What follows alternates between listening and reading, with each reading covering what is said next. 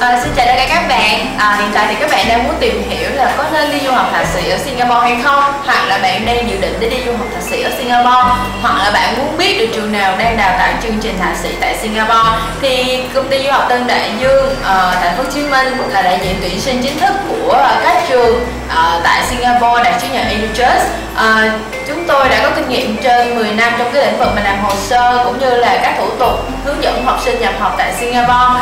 Và với chương trình hôm nay thì công ty du học Tân Đại Dương xin chia sẻ cho các bạn một vài thông tin về các chương trình học thạc sĩ tại Singapore thông qua cái buổi giải đáp thư của bạn Bích Hoàng à, bạn đã gửi email về cho công ty Tân Đại Dương như sau. Và xin chào anh chị thì em muốn được tư vấn về du học chương trình thạc sĩ MBA tại Singapore. Em vừa mới tốt nghiệp à, đại học và tiếng Anh của em thì không được khá cho lắm.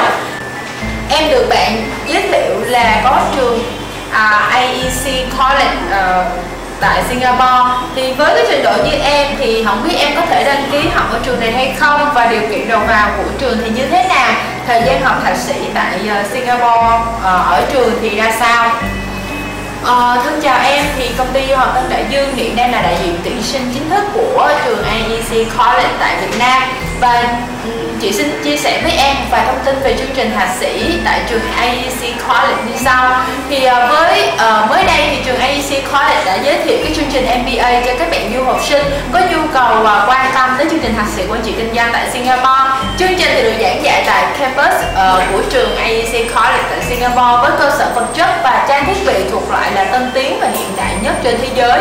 Đặc biệt thì sau khi hoàn thành các khóa học này thì các học viên MBA sẽ được nhận bằng do trường đại học Wales Newport của Vương quốc Anh cấp. Trường đại học Wales Newport là một trong những trường đại học danh tiếng và tốt nhất tại xứ Wales của Anh. Khóa học thì sẽ đem đến cho các bạn học sinh cơ hội để hệ thống hóa lại các kiến thức cũng như là nâng cao các kỹ năng về quản lý.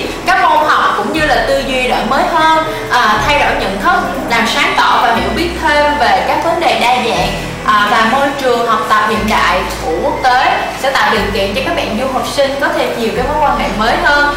À, và yêu cầu đầu vào của chương trình du học thạc sĩ tại trường thì em phải có bằng đại học và bằng cao đẳng cùng à, nếu như là bằng cao đẳng thì phải có thêm 5 năm kinh nghiệm làm việc. Ngoài ra là em phải có thêm bằng anh văn là IELTS 6.5 à, với thời gian học là 18 tháng toàn thời gian trong đó sẽ có 12 tháng lý thuyết và 6 tháng là em sẽ làm bài luận văn. À, nếu như thì em có thể làm bài test Anh văn tại trường uh, trước tại văn phòng của Tân Đại Dương để xác định coi em sẽ học Anh văn tại trường trong thời gian bao lâu trước khi vào nhập học khóa thạc sĩ chính thức.